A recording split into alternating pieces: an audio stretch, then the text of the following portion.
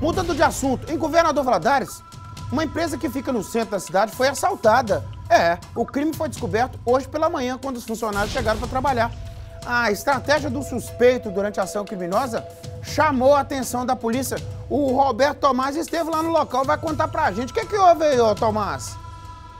Boa tarde, Nicomedes, e a todos que estão assistindo o Balanço Geral. Os donos da empresa não quiseram gravar, mas liberaram para a gente poder mostrar como é que foi a dinâmica desse roubo, onde o suspeito tirou algumas telhas, teve acesso ao forro de gesso, arrancou a luminária, e aí sim, ele usando uma corda amarrada no caibro, veio direto, coisa de cinema, viu, Nicomedes? Veio direto até esse local.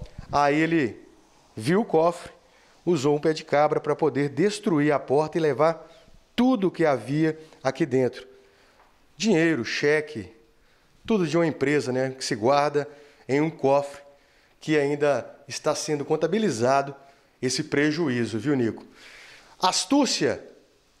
Será que sabiam como funciona o local? Porque até a câmera de segurança foi virada para não flagrar aí a ação de quem conseguiu arrombar essa loja e levar todos os materiais que estavam dentro do cofre. Olha só como é que ficou.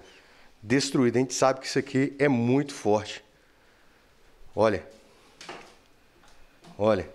Olha, retorcido todo o material e destruído. Agora, Nico, os proprietários já estão fazendo a limpeza do lugar né, e querem que a vida siga normalmente, já que a gente acabou de sair de um feriado de carnaval, eles nem sabem se foi no mesmo dia, se foi ontem, se foi sábado, se foi domingo, não sabem. Mas querem esquecer esse problema, infelizmente, né, Nico? É, a pessoa fecha a empresa quando vai voltar para retomar a vida, tá lá, surpreendida. Gente do céu, é complicado, viu?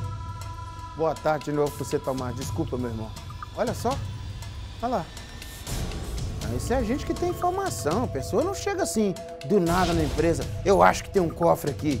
Não, não tem isso não. Isso é informação privilegiada. A polícia sabe disso. Eu não sou um gênio em fazer essa afirmação, não, porque isso é o óbvio.